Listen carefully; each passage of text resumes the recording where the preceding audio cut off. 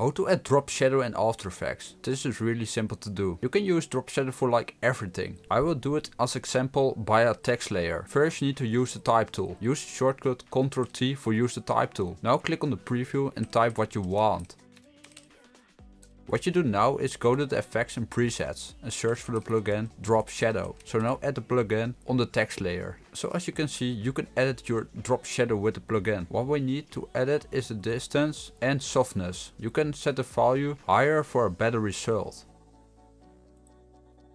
You can also change the color of the shadow and you can also change the opacity of the shadow. You can also use this plugin easy for a video or a facecam layer. This is all what you need to know. Thanks for watching this video. Subscribe if you want more tutorials like this.